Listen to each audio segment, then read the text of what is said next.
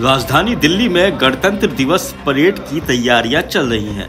इसको लेकर दिल्ली पुलिस की ओर से एडवाइजरी जारी की गई है। बताया गया है कि मंगलवार को फुल ड्रेस रिहर्सल होगी, जिसकी वजह से केंद्रीय दिल्ली में वाहनों का यातायात प्रभावित रहने की संभावना है।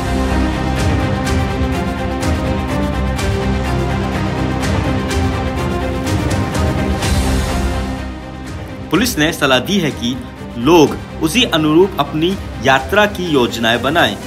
फुल ड्रेस रिहर्सल का मार्ग वही होगा जहाँ गणतंत्र दिवस पर परेड आयोजित की जाती है Uh, bringing in a female marching contingent. We also have a female band. So everyone in the band and the marching contingent are very excited and uh, I also share that excitement.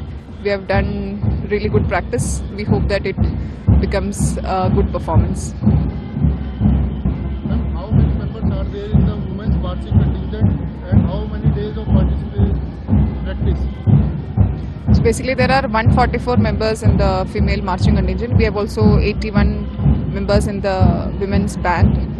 Uh, it's been almost six months in, since the contingent and the band has been practicing. So I had joined the contingent in December, but the process of screening and training the uh, participants of the contingent and the band had started way back in the month of July.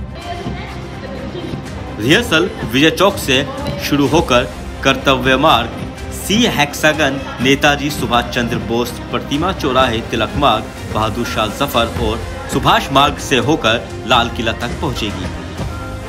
Parade के मार्ग को सुविधाजनक बनाने के लिए विजय चौक से India gate तक कर्तव्य पथ पर सोमवार शाम 6 बजे से मंगलवार को रिहर्सल के अंत तक किसी भी तरह के वाहनों की आवाजाही की इजाज़त नहीं होगी। वहीं रफी मार्ग, जनपद और मानसिंह रोड पर कर्तव्य पथ पर सोमवार रात 11 बजे से लेकर परेड खत्म होने तक क्रॉस ट्रैफ़िक की अनुमति नहीं होगी। एडवाइजरी में कहा गया है कि क्रॉस ट्रैफ़िक को केवल परेड की आवाजाही के आधार पर इजाज़त मिलेगी। परेड मार्ग से बचने की सलाह दी गई है। हालाँकि ड्रेस रिहर्सल के दौरान भी सभी स्टेशन पर मेट्रो की व्यवस्था रहेगी। जबकि केंद्रीय सचिवालय और उद्योग भवन स्टेशनों से सुबह पाँच से दोपहर बारह बजे तक बोर्डिंग और डीबोर्डिंग की अनुमति नहीं होगी। उत्तरी दिल्ली से नई दिल्ली रेलवे स्टेशन या पुरानी दिल्ली तक आवागमन पर कोई रोक नहीं है। इसी के साथ साथ, इस बार परेड की रिहर्सल में राजधानी दिल्ली में हमें नई नई चीज़ें देखने को मिल सकती हैं।